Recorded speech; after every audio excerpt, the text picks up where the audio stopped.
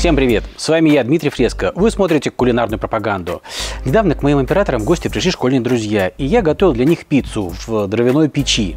Она хороша тем, что разогревается до 450 градусов. Для неаполитанской пиццы важно, чтобы а, под печи был разогрет до 420 градусов по Цельсию, а свод до 460. Ну, я вам говорил это в роликах про пиццу. Вот сюда щелкайте да посмотрите. Так вот, Печь массивная, остывает долго. Гости давно уже ушли, а она хоть и подостыла немного, но все еще была горяча. Термометр, вот этот, показывал 230 градусов. Его датчик расположен у самого свода, а вот этот показал температуру пода 210 градусов.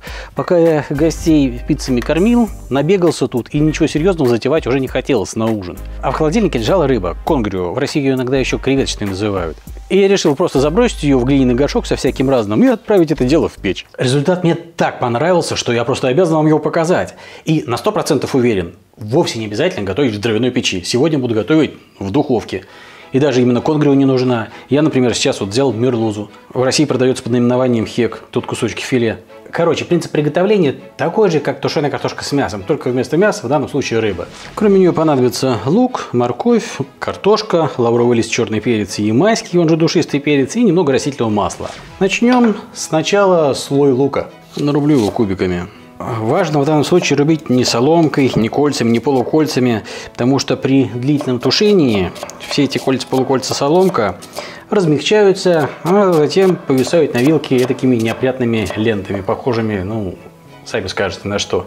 Немного растительного масла и лук сюда. А вот если нарубить кубиками, да еще и не крупными, никаких ленточек, повисающих на вилке, не будет. Теперь рыба. Нарежу ее на кусочки примерно с мелкое куриное яйцо. Предполагаю, что в таком блюде будет хороша вообще любая морская малокостистая рыба. Ну, даже треска, например, отлично подойдет. То есть речной бы я попробовал. Ну, сомика, например, на это дело пустил. Рыбу тоже сюда. И сразу посолить. И положу уже пару лавровых листочков. И перца душистого и черного.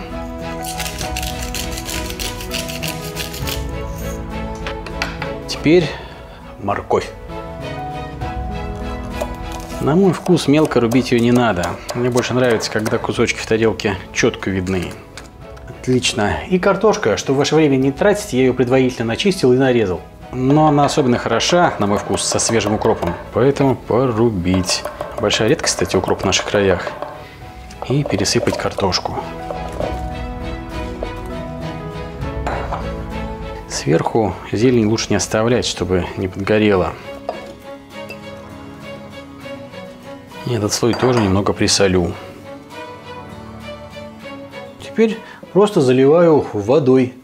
Если есть у вас рыбный бульон, то будет, конечно, только вкуснее. Ну и с водой получится очень даже вкусно. И в печь. Она уже разогрета до 220 градусов.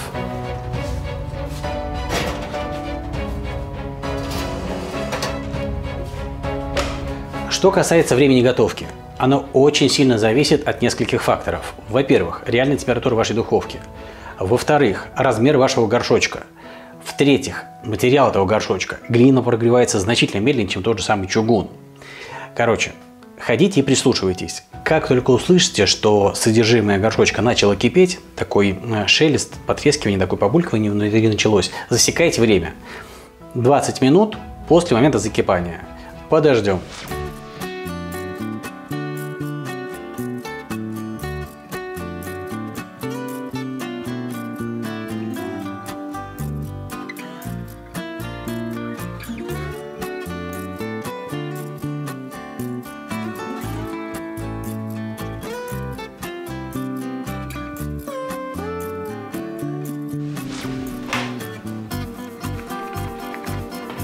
Примерно 25 минут назад в кастрюле началось тихое кипение. Значит, можно проверить готовность картошки.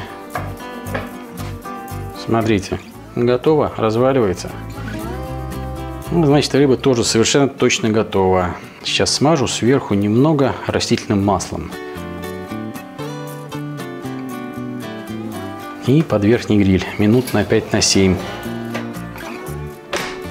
Так, чтобы слегка немного подрумянилось сверху. А я тем временем проблю зеленого лука.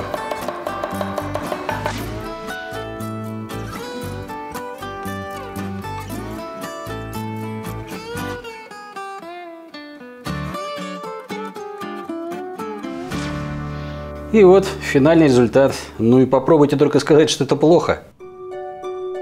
Согласитесь, чуд какое-то. Вот так, красотень. И трудозатраты минимальные. Все, как я люблю. Тут и насыщенный бульон, и рыба, и картошечка. Вот так вот с бульончиком вместе. М -м. Главное не обжечься.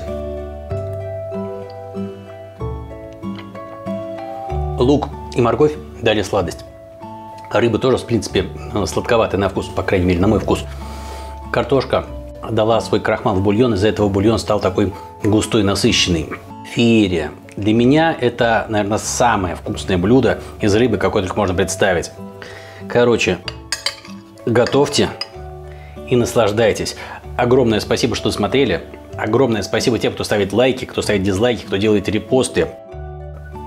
Да, если вы соберетесь обновлять свой парк ножей, то приобрести вот такой вот замечательный пчак.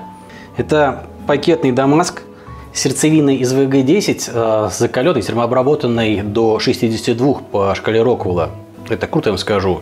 Накладки, не помню с какой стали, из мягкой стали. Короче, это современнейший нож э, старой, древней, проверенной формы. Короче, если вы фанаты ножей, смело покупайте. Спасибо за компанию. Всем пока!